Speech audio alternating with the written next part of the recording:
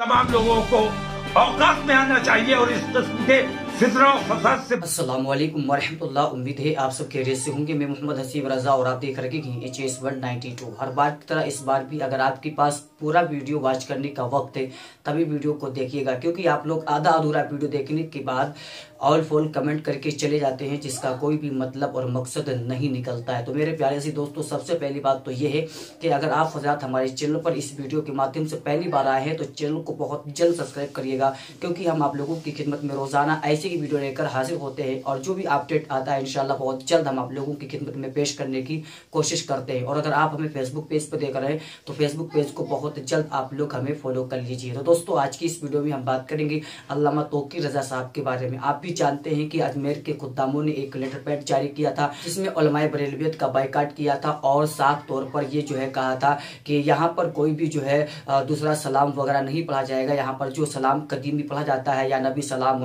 का वही सलाम पढ़ा जाएगा और इसके अलावा दूसरा कोई भी सलाम नहीं पढ़ा जाएगा। अगर कोई दूसरा सलाम पढ़ा जाता है तो उस पर जो है कानूनी कार्रवाई की जाएगी। इस प्रकार से जो है, वहाँ के खुदामों ने जो है लेटर पैड जारी किया और वीडियो के ज़रिए लोगों तक जो है ये खबर पहुंचाई। दोस्तों, आप भी जानते हैं दो चार दिनों से ये मामला बहुत ज़्यादा तूल पहुँचा और और सोशल मीडिया के ऊपर एक अफरा तफरी का माहौल बना। तो मेरे प्यारे से दोस्तों, अभी अल्लामा तोकी रजा साहब जो है वहाँ पर पहुँचे और खुदामों से मुलाकात की। मुलाकात करने के बाद मेरे प्यारे से दोस्तों, जो भी मामला सामने आया, जो भी वीडियो सामने आई, हमने आप लोगों की खिदमत में पेश कर दिया है। हमारे channel H S world ninety के ऊपर अपलोड है। अगर आपने उन वीडियो को नहीं देखा है तो हमारे चैनल पर जाकर के अबाउट में वीडियो पे क्लिक करके आप सारे वीडियो देख सकते हैं। इंशाल्लाह बहुत जल्द जो है हमारे चैनल पर जाकर के अबाउट पर उन तमाम वीडियो को आप देख सकते हैं दो चार वीडियो हैं। जब आप उनको बखूबी अच्छी तरह से सुन लेंगे तो इनशाला तबारक उम्मीद है कि सारा मामला आप लोग अच्छी तरह से समझ पाएँगे। अब अल्लाह तोकी रजा साहब अजमेर शरीफ से जो है बरेली शरीफ आ चुके हैं और बरेली शरीफ से जो एक वीडियो जारी किया है, जिसमें जो है एक बहुत ही बड़ा जो है खुलासा किया है। तो आइए हम और आप जो है अल्लाह तोकी रजा साहब की उस वीडियो को देख लेते हैं, जो वीडियो बरेली शरीफ आकर के जो है शूट किया है और लोगों तक जो है पहुँचाया है।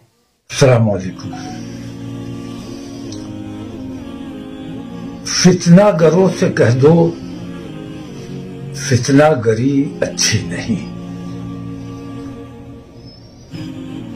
मौजूदा हालात को देखते हुए मुल्क के मुसलमानों के जो हालात हैं, उन पर गौर करते हुए हम इस नतीजे पर पहुँचे हैं कि बहुत मुश्किल दौर से आज मुसलमान गुजर रहा है और इस वक्त बहुत मोहतात रहने की ज़रूरत है।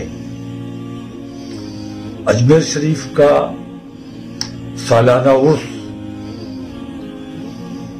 करीब तर है और उसमें सलाम और आला हज़रत और मसल के आला हज़रत और जिस तरह के नारे लगाए जाते हैं, शेर आया शेर आया, देखो देखो कौन आया। बुज़ुर्गों की बारगाह में हाजिरी गुलामों की तरह दी जाती है। गुलामी का सबूत पेश करने के लिए बुज़ुर्गों की बारगाह में हाजिरी होती है, न कि वहाँ अपनी ताकत का मुजाहरा करने के लिए। मैं ये समझता हूँ कि इस किस्म की तमाम चीज़ों से बरेलवियत को, मसलक को, मरकज को बेहद नुकसान पहुँच रहा है। और अजमेर शरीफ और बरेली शरीफ को लड़ाने की जो लोग कोशिश कर रहे हैं, मैं ये समझता हूँ कि वो मसल के आला हज़रत को नुकसान पहुँचाने की कोशिश कर रहे हैं।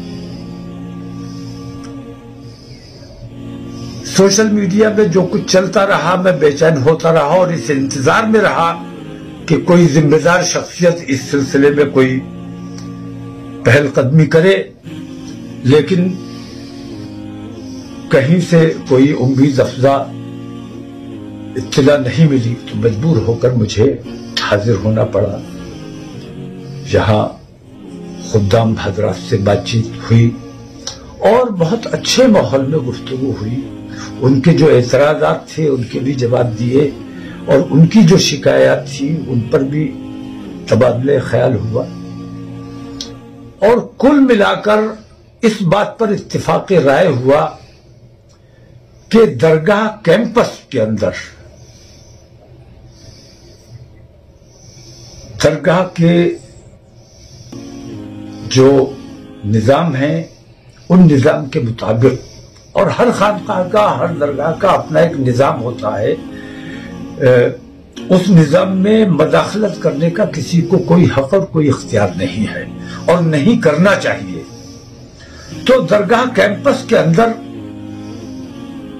जो कलाम पढ़ा जाएगा, जो पहले से राइज है, वही सब राइज रहेगा, उसी तरीके पर अमल होगा, दरगाह के बाहर अपनी अपनी कयामगाह पर।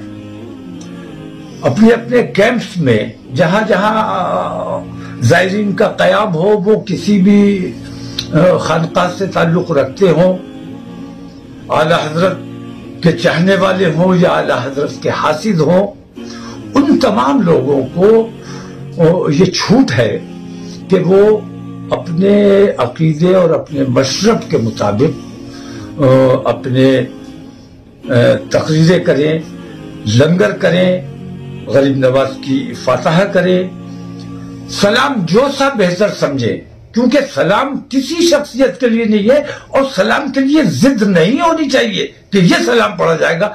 असल चीज़ ये है कि सलाम पेश किया जाना चाहिए। और अगर इस किस्म की जिद रही तो मैं ये कहता हूँ कि कहीं ऐसा ना हो, खुदा न करे कि कल सलाम बंद हो जाए। हमारी कोशिश ये है कि सलाम राइज रहना चाहिए, सलाम होता रहना चाहिए। वो सलाम भी हमारा ही सलाम है। और वो सलाम असल में हुजूर की शान में सलाम पढ़ा जाता है किसी और शख्सियत की शान में या तो सलाम में जिद करना कि नहीं हम ये वाला पढ़ेंगे। ये, ऐसे फिक्रों से बचना चाहिए। इससे इंतशार पैदा होता है और जो लोग जिद करते हैं जिद फसाद की बुनियाद होती है जिद से काम नहीं चलेगा। हमें फराख दिल होना चाहिए। हमें दिल बड़ा रखना चाहिए और गरीब नवाज़ की बारगाह हिंदुस्तान के बादशाह का दरबार है। इस दरबार में जिद, ज़बरदस्ती, गुस्सा, झगड़ा, फसाद, ये गरीब नवाज़ की नाराज़गी, मोल लेने का सबब बन सकता है और गरीब नवाज़ की नाराज़गी जो मोल ले सकता है, हमारा उससे कोई वास्ता नहीं है। अगर बरेली का नाम लेकर उसने यहाँ किसी किस्म का फसाद बर्पा करने की कोशिश की तो उसके खिलाफ सख्त कार्रवाई की जाएगी। और उन तमाम लोगों को औकात में आना चाहिए और इस किस्म के फितना और फसाद से बचना चाहिए और बरेली को बदनाम होने से बचाने की कोशिश करना चाहिए। आइंदा अगर इस किस्म का कोई मामला मेरी नज़र में आया तो उसके नतज बहुत खराब खुदा। मेरे प्यारे मुख्तर मसीह दोस्तों, आप लोगों ने जो है अल्लाह तोकी रजा साहब का वीडियो देख लिया और अल्लाह तोकी रजा साहब ने क्या कहा, क्या खुलासा किया? तो मेरे प्यारे मसीह दोस्तों, आप लोगों को कमेंट बॉक्स में जो है कमेंट करना है, अपना राय, अपना मशवरा देना है। लेकिन दोस्तों अदबो एहतराम के दायरे में रह करके तो आज की इस वीडियो में बस इतना ही। इनशाला मुलाकात करते हैं फिर किसी दूसरी वीडियो के साथ। असलम वरहमतुल्ला दुआओं की गुजारिश में मोहम्मद हसीब रजा और आप देख करके नाइन्टी टू। अल्लाह हाफिज़।